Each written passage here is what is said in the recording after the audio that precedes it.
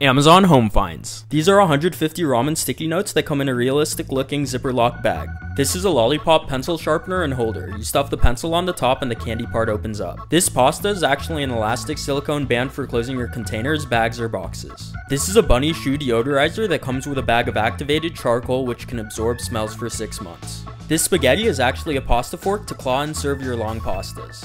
This is a gourmet burger coaster set that you can take apart and place your cups on. This goldfish bowl is actually a scented candle and the goldfish are made of wax. This small house is a tea bag organizer. You add bags at the roof and pull them out at the bottom. This ceramic face is a plant and glasses holder that you can also draw on with a marker. This is a camera fan that you can turn on by hitting the shutter and it blows air through the top.